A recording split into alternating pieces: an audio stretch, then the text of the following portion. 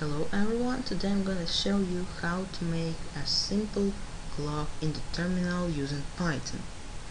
So the clock will look something like this.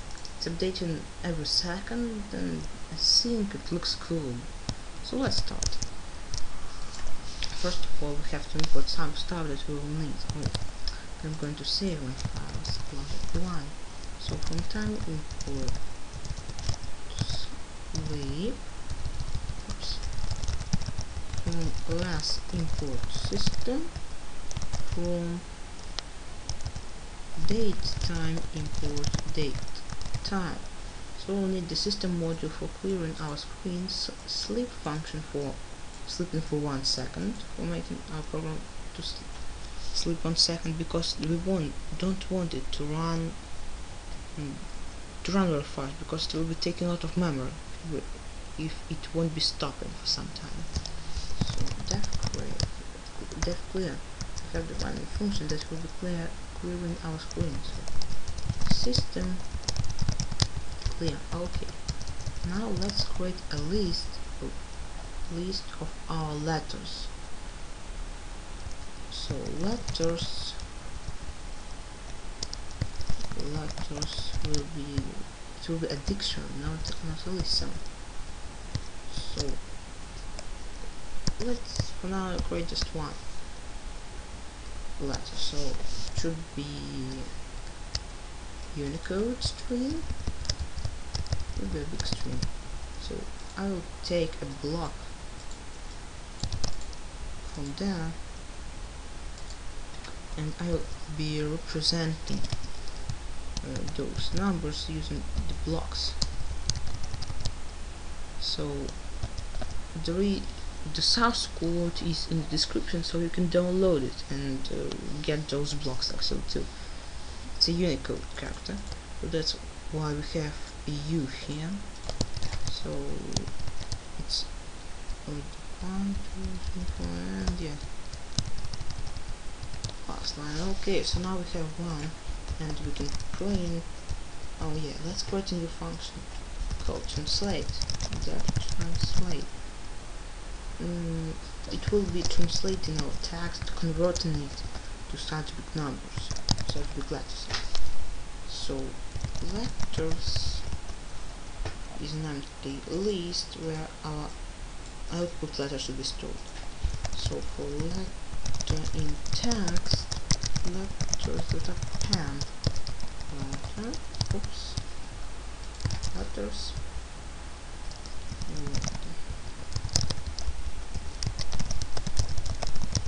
So we're going to finish with dust so we can just uh, for there. Okay now for I in range 5 I in range 5 y 5 because uh, every character is 5 below 8. So 405. And for each letter in the list of letters, print letter that split. So split, it's something like split lines. Split lines. I'm not sure this function exists then in Python two. So okay and we have to take the i index. So first and we have to put a comma there. So it won't be going to the next line after printing that one. And then mm, write print here. So how does it work? For each line in that in each letter this is in our list it print it prints out that line that split, lines it gets all the lines and chooses uh, the one we need right now. So let me show you how does it work. So translate for example one. So we have only number one right now. So let's just find the clock.py oops. Yeah I forgot. We have to add uh, UTF-8 encoding our script so we can use such characters there. Oops. Yeah. And now let's do it again yeah. As you can see we have number one here. Okay.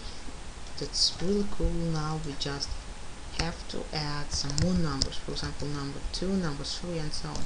I already have those numbers written down so I won't write them right now.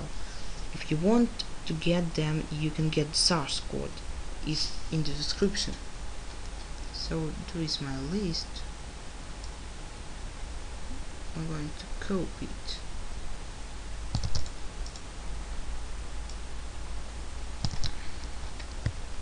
Okay now let's try to translate 12 12 12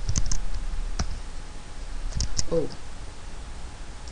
Wait what's wrong about syntax online hmm strange. Wait looks like a oh yeah, two brackets.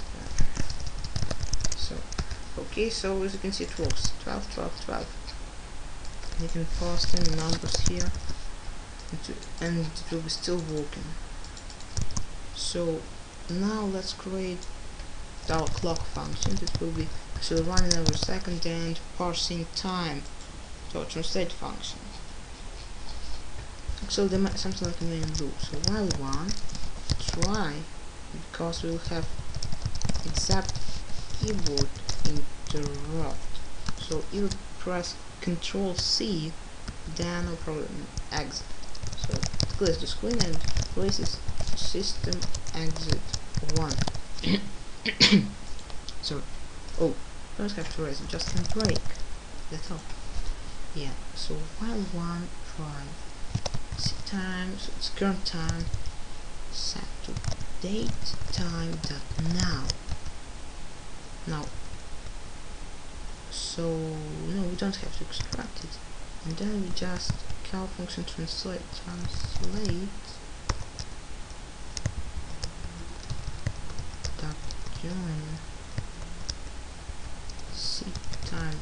hour seek time dot minute and seek time dot second.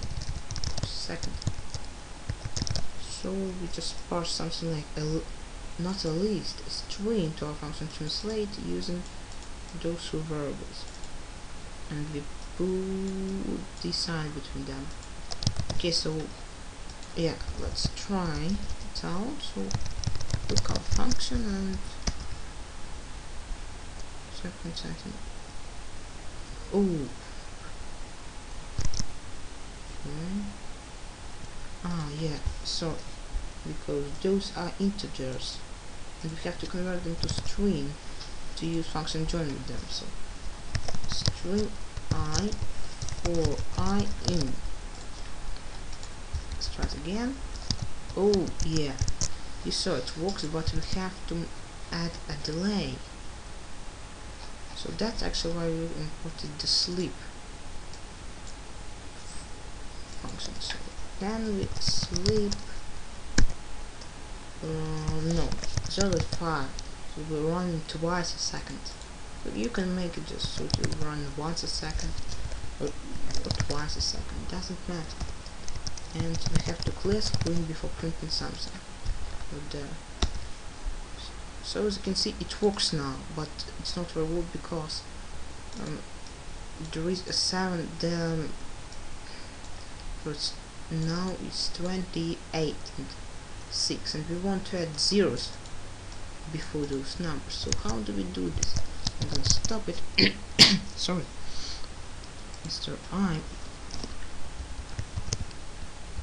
I'm going to modify the code right here. If then I L right I so now if of our second of oh it doesn't matter. Is is not 2 to be added a 0 before it. And then count the function translate oh. 2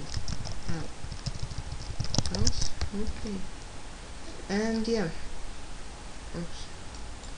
as you can see it works now. So so 0904 so yeah.